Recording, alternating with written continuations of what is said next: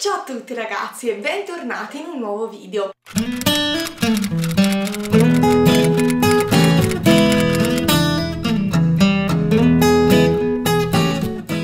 Oggi faccio il video che è praticamente di rito in questo periodo, ovvero farvi vedere quali sono stati i miei acquisti al Salone del Libro di Torino eh, 2017, insomma che c'è stato qualche giorno fa. Io sono stata a Torino soltanto la domenica perché ehm, non avevo la possibilità di andarci gli altri giorni. Purtroppo venendo dalla Toscana, il, diciamo, il, eh, l'unica soluzione per andare a Torino è molto dispendiosa, nel senso che eh, vado sempre con la mia mamma, comunque eh, nel momento in cui siamo decidiamo di andare dobbiamo prendere un treno che è costoso, non possiamo stare un giorno solo perché ehm, a fare andata e ritorno in un solo giorno con il treno significa trascorrere pochissime ore ehm, al, al, salone e eh, quindi dover prendere l'albergo per, no per una notte, anche questo chiaramente aumenta le spese della giornata che si aggiungono a quelle dei libri che sono una spesa a parte ecco. Quindi in ogni caso ehm, due anni fa c'ero andata con la mamma facendo appunto così prendendo il treno e eh, che oltretutto devo anche cambiare più di una volta perché non c'è il treno diretto da dove vivo io fino a, a Torino. Um, e abbiamo preso la camera d'albergo e tutto. Invece quest'anno abbiamo deciso di eh, cercare insomma di andare un po' a risparmio e quindi siamo partiti il sabato pomeriggio eh, con il mio babbo quindi con i miei genitori e la mia, sorella, la mia sorellina una delle mie due sorelle con il camper perché i miei hanno un camper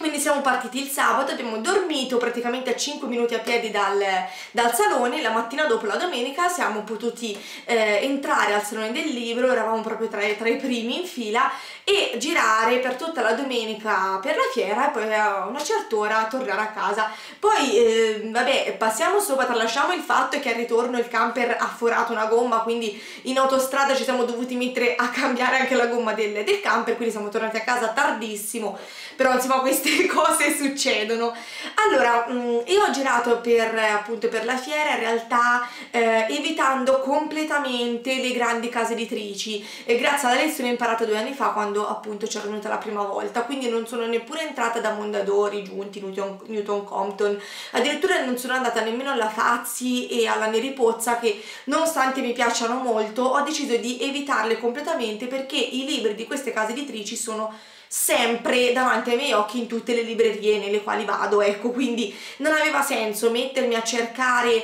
mh, a comprare libri che posso comprare quotidianamente eh, qui dove vivo io. E quindi mi sono, eh, diciamo, dedicata soprattutto alle piccole case editrici che trovavo eh, sparse qua e là, soprattutto ai margini della, della fiera ho comprato 4 libri per me ed uno per il maritino. Sono molto contenta di quello che ho comprato perché erano cose che altrimenti ecco non avrei mai trovato inoltre altro avvenimento importante è stato il fatto che ho finalmente conosciuto di persona Antonella del blog, pagina Facebook, gruppo Facebook che si chiama If you have a garden in the library you have everything you need ve lo lascio come sempre sotto vi lascio tutti i link perché è una persona fantastica e sono stata molto molto felice di esserci trovate tutte e due la domenica per potersi conoscere. Cominciamo! Il primo libro di cui vi parlo è uh, La vacanza delle donne di Luigi Compagnone della casa editrice Avaiano Editore. In questo caso il, la, la, la, casa editrice aveva proprio un piccolo banco, eh, però mi aveva incuriosita questa serie di librettini piccolissimi e leggendo la trama di questo ho deciso di, di acquistarlo. Ehm, praticamente la trama è... Ehm,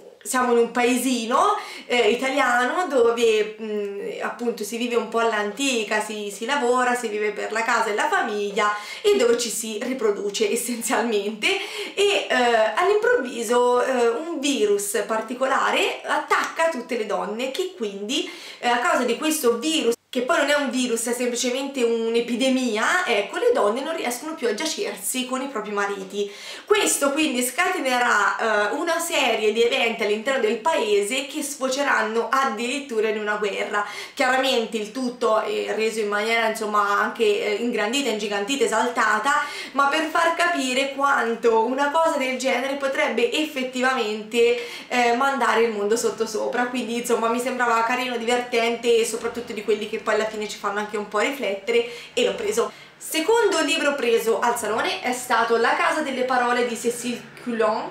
credo, eh, della casa editrice, casa editrice, ora ve, lo re, ve la dico, Keller Editore, ok?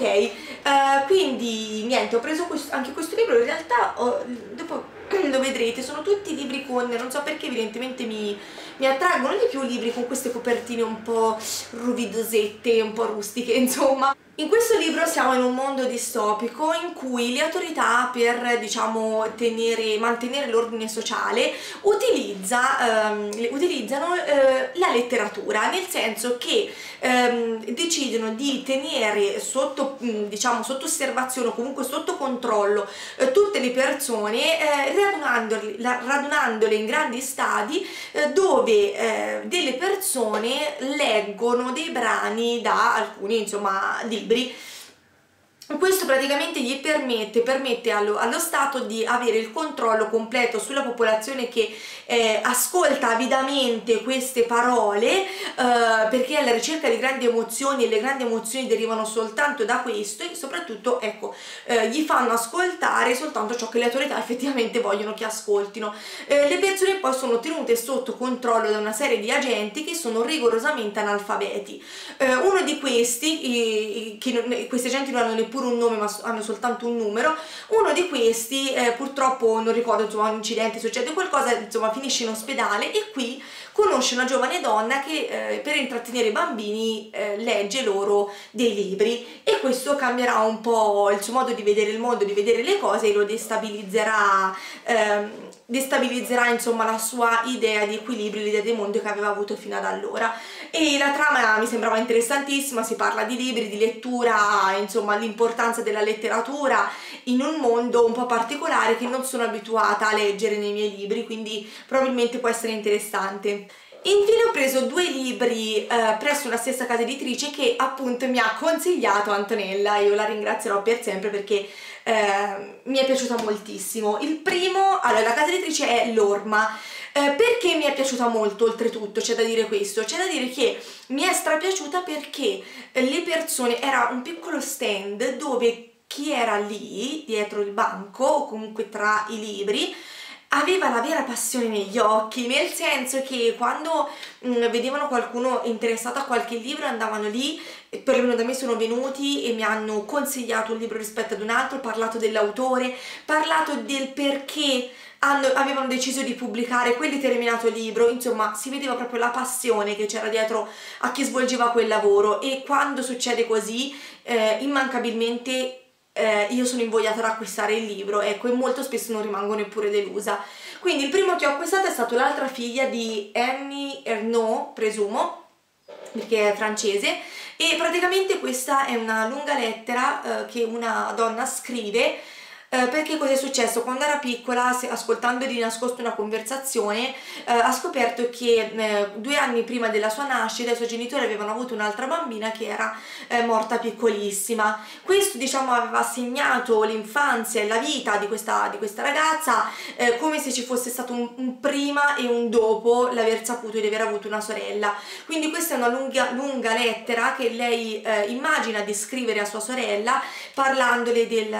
della sua vita eh, di come eh, sta vivendo il fatto di eh, non poter condividere la sua vita con una sorella e parlandole del suo privilegio di essere amata perché appunto in vita. Secondo me potrebbe essere una lettura veramente introspettiva, interessante e non lo so, mi aveva proprio incuriosito moltissimo il fatto che lei decidesse di parlare del privilegio di essere amata, quindi credo sicuramente che mi piacerà. L'altro libro preso uh, alla casa editrice Norma è um, Martin, il romanziere di Marcel Aimé.